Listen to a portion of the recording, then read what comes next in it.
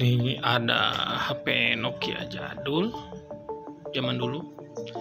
Kerusakannya di bagian mic. Ini jalurnya gak ada ya. Setelah di jumper ke mana ke sana kemari sampai ke sini. Ini belum ada suaranya. Gak kedengaran ke orang lain ketika kita menelponnya.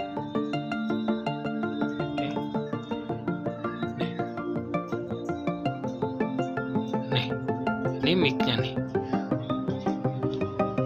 Ini untuk micnya. Jalurnya ke sini sama nah ke sini.